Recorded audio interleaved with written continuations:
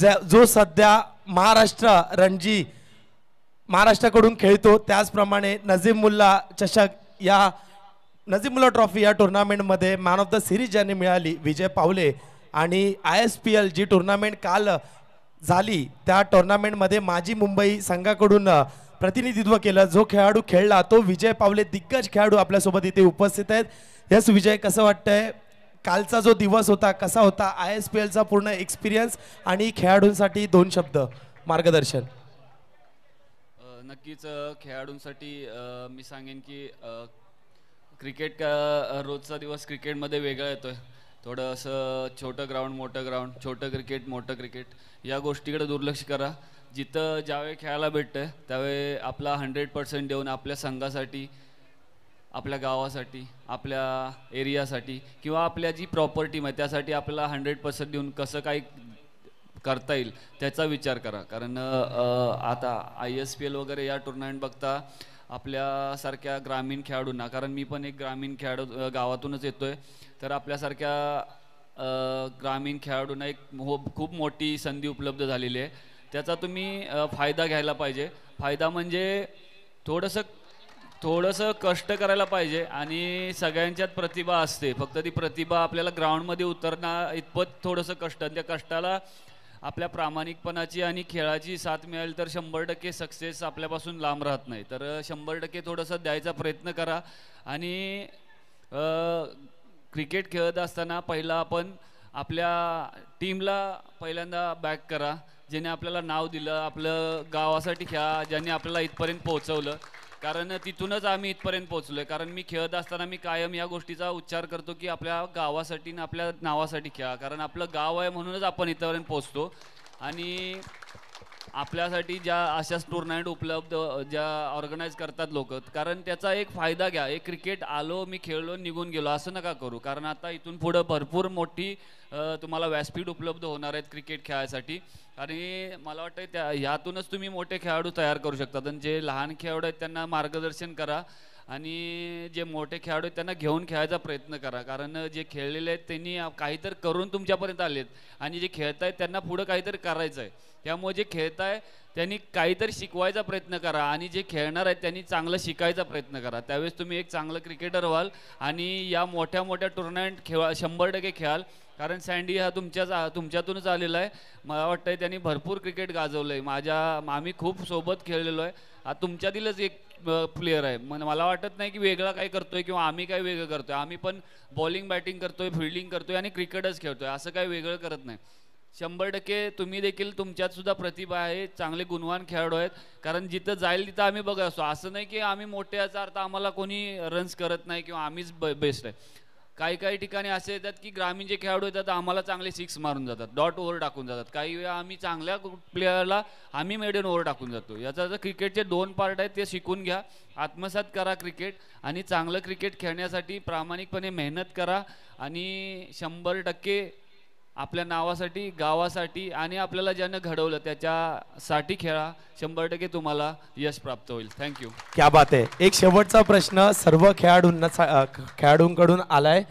काल सोनी लाईव्हच्या माध्यमातून आम्ही टुर्नामेंट बघत होतो. त्याचप्रमाणे ग्राउंडवर काही खेळाडू गेले जे सामना पाहण्यासाठी मोस्ट फेवरेट टीम होती. कालच्या दिवसात माझी मुंबई कुठे थोडीशी कमी पडली जो हार पत्करावी लागली पहिल्या सामन्या पहिल्या सीझनमध्ये काय असं घडलं मैदानामध्ये? प्रेक्षकांचं प्रेशर असतं. एवढ्या प्रेक्षकामध्ये जवळजवळ पन्नास हजार क्राऊड त्या मैदानामध्ये होता. ते प्रेशर असतं. कशा पद्धतीने हँडल करावं ते प्रेशर आणि काय कुठे कमी पडली कालच्या दिवसात? नक्कीच म्हणजे प्रेशर असं काही नव्हतं. कारण प्रोफेशनल प्लेयर्स आहेत. प्रोफेशनल पद्धतीनं खेळण्याचा आम्ही प्रयत्न करत होतो. मला वाटते सुरुवात पण आमची खडतर झाली बॅटिंगमध्ये आणि तीच तोच प्रवास आमचा पूर्ण दहा ओव्हरचा सेम राहिला. एकतर बॅटिंग इनिंग करायला पावती ती कोणी केली नाही. आणि मला वाटतं विकेट पण कालांतरानं सेम सेम पडत गेल्या. आणि त्याच्यामध्ये आम्ही बॅकअप म्हणजे परत बॅक झालोच नाही. मला वाटतं तोच आमचा एक वीक पॉईंट होता की आम्ही बॅटिंगमध्ये नाईन्टी प्लस रन्स करायच्या होत्या. त्या केल्या नाहीत. टार्गेट मोस्टली आम्हाला जे अचीव करायचं झालं नाही.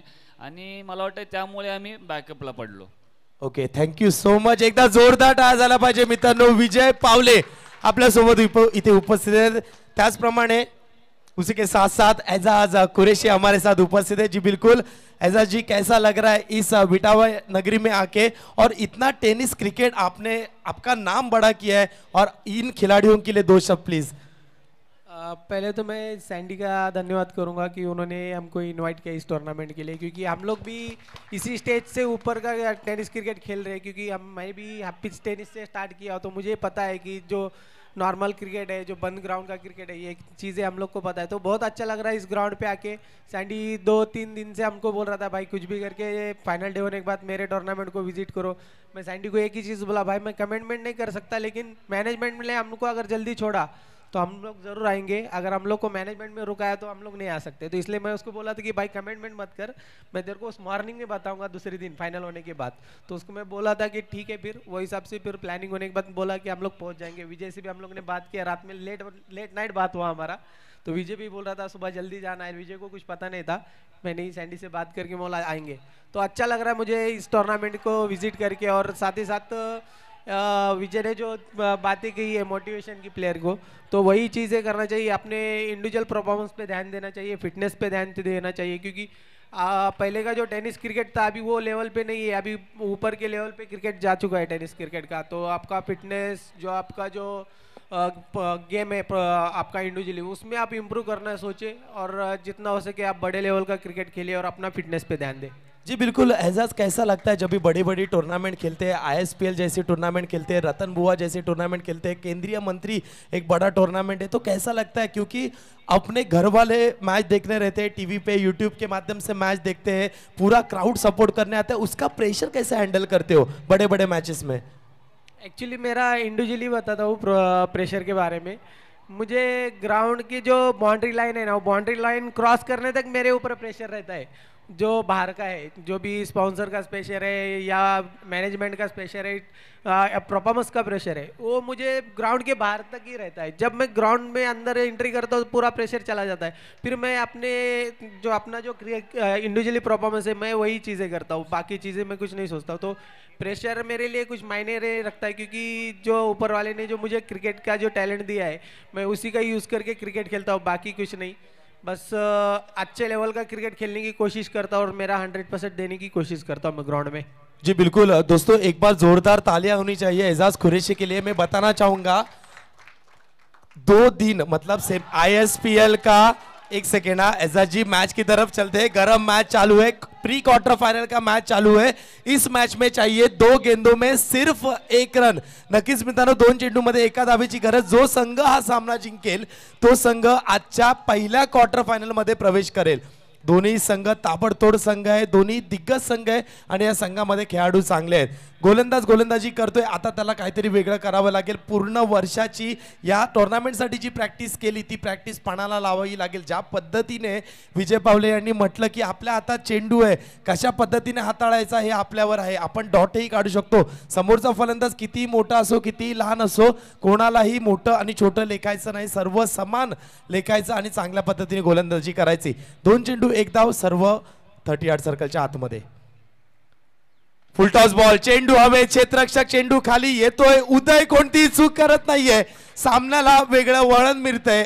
आणखीन एक झटका यश लाईन संघाला लागतोय. नक्कीच विजयदादा आणि एजाज कुरेशी सर जेव्हा सहा चेंडूमध्ये छत्तीस धावा बनवायच्या असतात किंवा एक बॉलमध्ये सहा रन पाहिजे असते तेव्हा फलंदाज एकच इच्छा असते की मोठा फटका खेळायचा आणि बॉल बाउंड्री लाईनच्या बाहेर पाठवायची. पण जेव्हा वेळ येते एका चेंडूवर एक धाव काढायची तर ती कशा पद्धतीने काढायची हे कुठेतरी ना चेस खेळावं लागतं. डोक्याने खेळावं लागतं. एक चेंडूवर एक धाव काढणं खूप कठीण असतं. तेच एक चेंडूवर सहा षटकार मारायला सांगा. षटकार मारेल फलंदाज पण एका चेंडूवर एक धाव काढणं खूप टेक्निकली फलंदाजी करावी लागते. नक्कीच. मित्रांनो एजाज कुरेशी यांच्याबद्दल एकच म्हणू इच्छितो. जेव्हा फायनलचा सामना होता सेमीफायनलचा सामना होता माजी मुंबई संघाचा रोजा चालू होता त्यांचा. रोजा चालू असताना सुद्धा त्या खेळाडूने सेमीफायनलमध्ये सुद्धा चांगला परफॉर्मन्स केला आणि फायनलमध्ये सुद्धा चांगला परफॉर्मन्स केला. एकदा जोरदार टाळा झाला पाहिजे मित्रांनो एजाज कुरेजी सरांसाठी. आणि मित्रांनो तुम्हाला सांगू इच्छितो हे दोन फलंदाज जे फलंदाजी करतायत मैदानामध्ये त्यांचं वय जर पाहिलं